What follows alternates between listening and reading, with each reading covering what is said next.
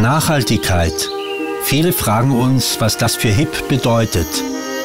Es bedeutet, der Natur nur so viel zu entnehmen, wie wieder nachwächst.